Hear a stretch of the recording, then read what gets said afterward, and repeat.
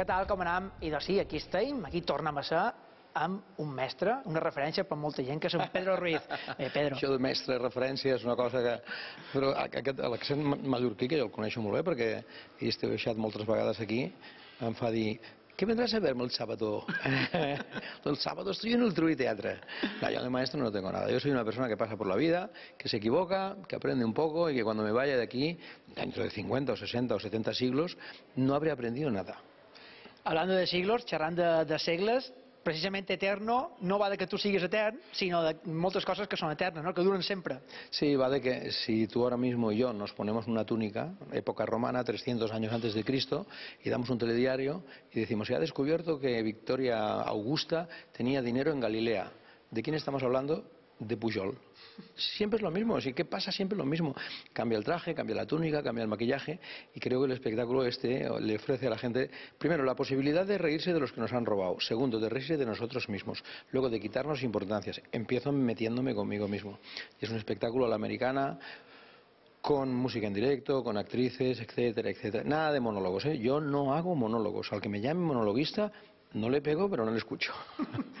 perquè és un espectacle que té de tot i el que sempre ha caracteritzat en Pedro Ruiz, que això també lo dic conseqüències, és que no té pèls a la llengua. Los tenía, pero me los afeité.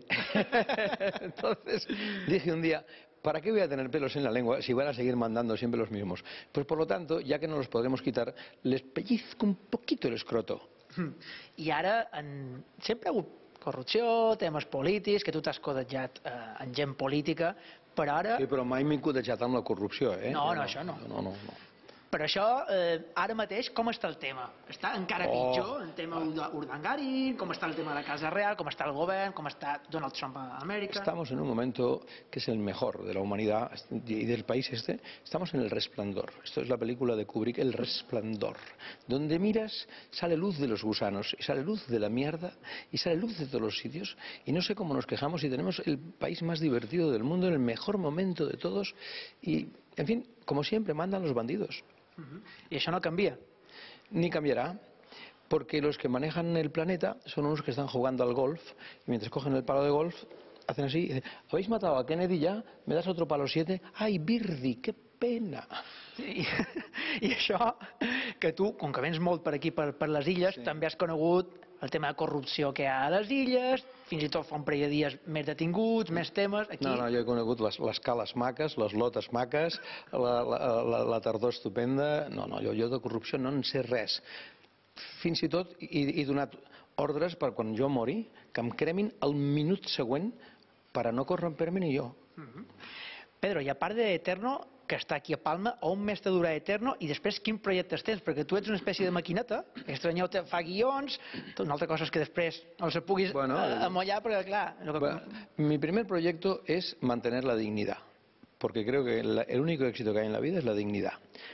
Después de la dignidad, lo que hay fuera, todo es una tempestad. Y es una tempestad que la maneja el político, el productor, los 40 principales, y todo eso es un rollo que no me mola. Eh, mantener la dignidad. Hacer una película, que me levanten los vetos, seguir siendo quien soy, mm, honrar la memoria de mis padres que fueron muy honrados, y eso es todo. Y uno pasa por aquí y después nada más.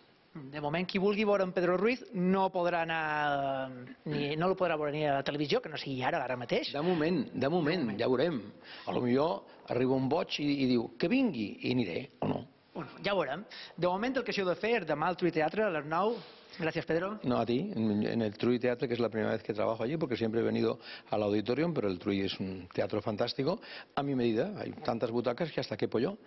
Y les espero. Muy amables siempre, porque Mallorca para mí es mi segunda casa, y esto no es un tópico, es una verdad. Moltes gràcies, Pedro. Ja ho sabeu, els que viviu a Mallorca i els que sou de les altres illes, i doncs si teniu un cap de setmana lliure, i els dos bé, clar. Pega, pe- pega un vot i veureu en aquest home que va molt la pena. Prometo que yo iré.